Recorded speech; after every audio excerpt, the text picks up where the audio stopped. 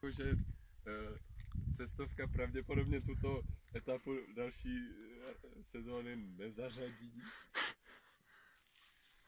To bych si neměl problém. No já napíšu, že plánuje ten horský chodníček a že nás vrátili policajti, protože horský chodníček zasahuje v Albánii a nemáme povolenku, že jo? Kdyby nepršelo, tak by bylo jako, jakože dobrý, no. Jako, což je pravda? Tohle plán nebyl. No, přesně tak.